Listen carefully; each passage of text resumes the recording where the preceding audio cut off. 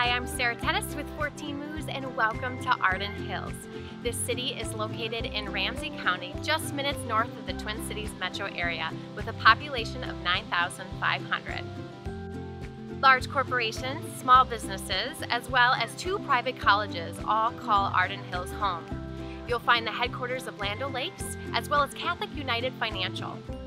Bethel University and the University of Northwestern St. Paul provide students here the opportunity for an excellent education.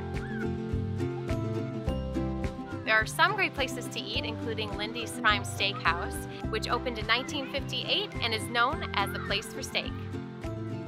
My name's Christopher Sanders and I live in Arden Hills for about eight years. I like Arden Hills because it's uh, close to uh, places to walk, parks and shopping, close to the freeways. So it's really a nice area.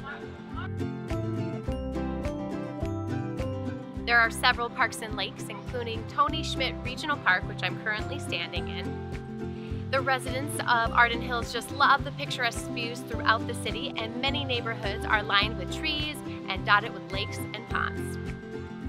Lakes, parks, and shopping, you'll find lots to do in this wonderful city.